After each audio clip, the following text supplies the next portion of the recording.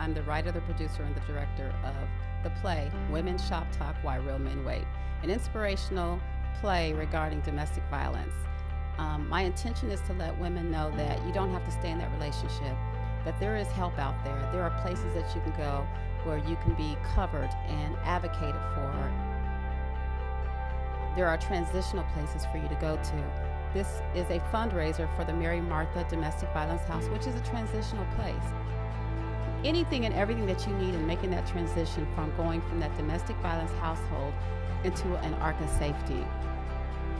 I am a testimony based on the fact that I've been through that tragic experience that you're dealing with right now.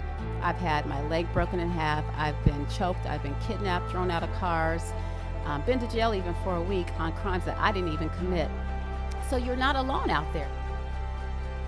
My message for everybody to know is that there is life after abuse.